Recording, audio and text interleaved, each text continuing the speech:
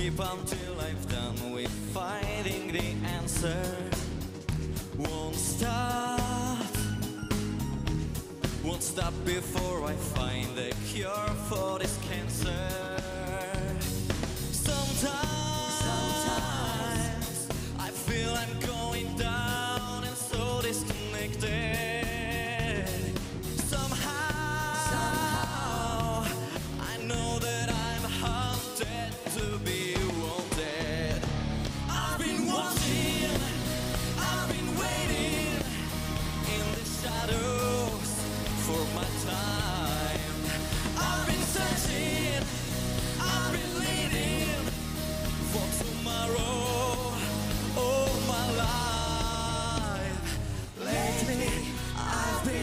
walking walking in circles, watching, play there for something.